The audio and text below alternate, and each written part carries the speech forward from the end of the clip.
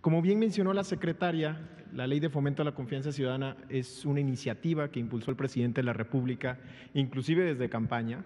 Eh, si bien recordarán, eh, lo que menciona el presidente es existe corrupción arriba, pero también abajo. Y una forma de atacar la corrupción desde abajo es garantizando que las inspecciones que las, que las dependencias del gobierno federal realicen se hagan de la mejor forma posible y en donde hemos identificado, por supuesto, que es, es un gran nicho de corrupción también eh, eh, las inspecciones que, que, se realizan por parte de las autoridades públicas. Para atender esta problemática se crea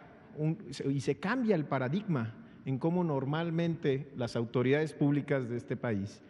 estamos inspeccionando el cumplimiento de la regulación.